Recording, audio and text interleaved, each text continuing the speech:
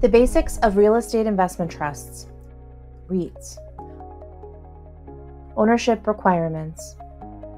By combining tax advantages and portfolio diversification, a real estate investment trust, or REIT, offers substantial benefits to both individual investors and property owners.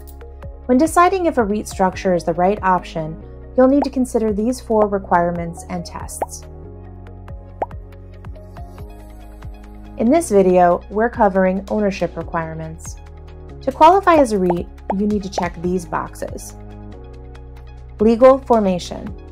REITs can be corporations, trusts, or associations, although LLCs may elect to be treated as a corporation under the tax code. Trustees or directors. Management must be handled by one or more trustees or directors. Shareholder count there must be at least 100 shareholders starting from the second taxable year, and they must exist for at least 335 days annually. Ownership No more than 50% of the entity's stock value can be owned by five or fewer individuals during the last half of each tax year. It's common to limit the amount of ownership an individual may maintain to less than the 10% of the total shares in order to ensure a REIT maintains the provisions of the five or fewer test.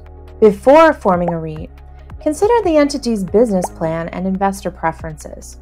If the business plan involves short term income from flipping properties, a REIT structure may not be suitable due to tax implications. Prohibited transactions, like short term flipping, can result in a 100% tax on net income. Remember to consult legal and financial professionals when considering REIT structures, and subscribe to our channel or visit eisneramper.com to learn more.